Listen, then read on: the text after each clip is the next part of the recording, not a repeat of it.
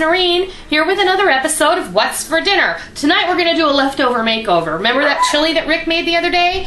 Well, I'm going to use it tonight in a chili mac bake casserole. So let's see what goes in this. Super simple. Okay, I have prepared three cups of dry pasta, elbow macaroni, whatever you want, whatever you got on hand, rotini. Don't use spaghetti, but this is cooked macaroni, and I used three cups of dry. This came right out of my jar here. We're going to use one can of nacho cheese sauce, and that's a 15 ounce can. And then I'm going to use this container of leftover chili from Sunday. So let's throw this together.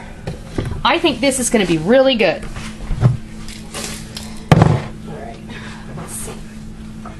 First thing we're going to do is we're going to take our pasta.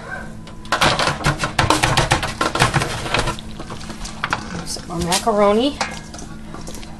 And I am using my friendly favorite kitchen helper, the aluminum pan. And I buy these at Sam's Club. You can get these in packages of, uh, I don't know, 25 I think, and they're really cheap. And then we're going to take our nacho cheese, and I had a spatula here somewhere. There it is.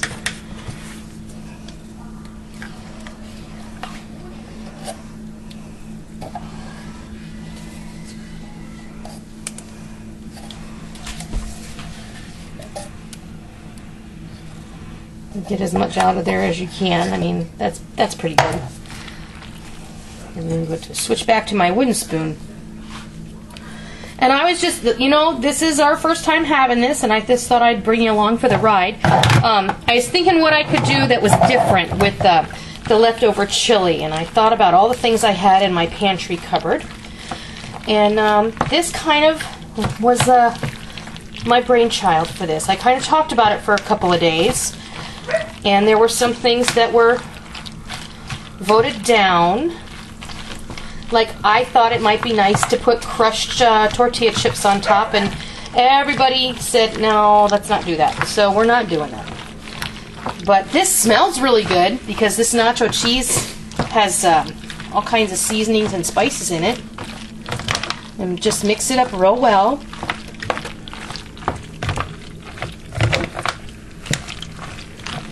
And that nacho cheese, I usually keep a couple cans of that in the cupboard because you know, it's useful, and you never know when you want to plate of nachos.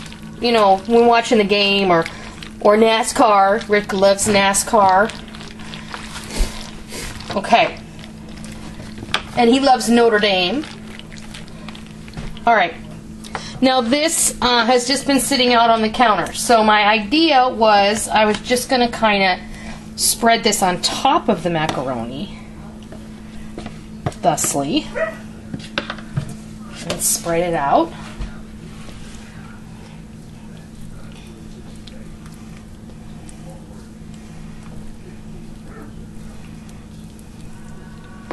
And get it in all of the corners. And their dogs are whining because I made them go outside while I did my video since the other night they were so rude. Okay, and now I grated an entire 8 ounce bar of sharp cheddar cheese. We may not use the entire bar, but shredded cheese will not go to waste in my house.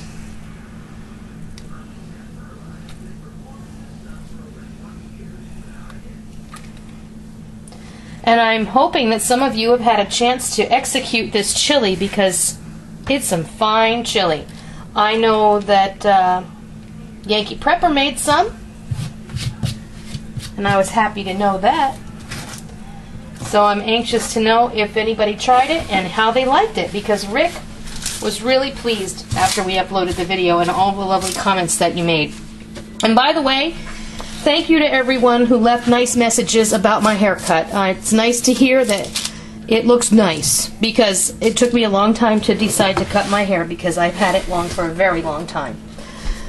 Okay, that's it. We're going to bake this in a 350 degree oven for about 30 minutes until it starts to bubble. I'm going to check it at 20 minutes and see how it looks. And we're going to go from there. Let's put it in the oven. There we go. I'll be back in a little while. All right, it's been about 30 minutes, and let's take a look at this. It smells positively delicious. Oh, look at that. Oh, look at that. You can tell me that doesn't look wonderful. I am going to let this cool for about five minutes so that it just kind of settles and thickens up a little. So I'll be right back, and you know what time it is. It's time to fix your plate because I know you're hungry. So I'll be right back. Cut into this. Oh yeah, just the way I had hoped it would be. Look at that. That's lovely. The chili is kind of sunk down into the macaroni and it's mixed with that nacho cheese and awesome. There you have it. We don't know what to call this, but I'm, I'm going with chili macaroni bake. So there you have it, leftover makeover chili macaroni bake. It's delicious. It smells delicious. It looks delicious. I hope you try this, and I hope you enjoy it. And until next time, see ya!